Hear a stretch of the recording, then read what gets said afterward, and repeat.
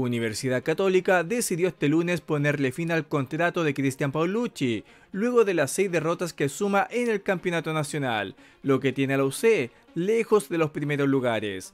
Ahora los cruzados deberán encarar el clásico ante Colo Colo, sin una voz de mando en la banca, y lo que es peor, podría correr la misma suerte ante Flamengo la próxima semana, en un duelo crucial por la Copa Libertadores.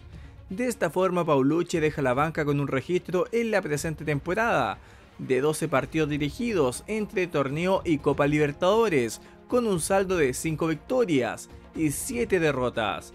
Así también, según los medios, la idea en la directiva cruzada es que Paulucci no deje la institución, por lo que puede que se le busque un cargo para evitar también pagar la indemnización de 20 meses que corresponde por el resto del contrato hecho a principio de este año.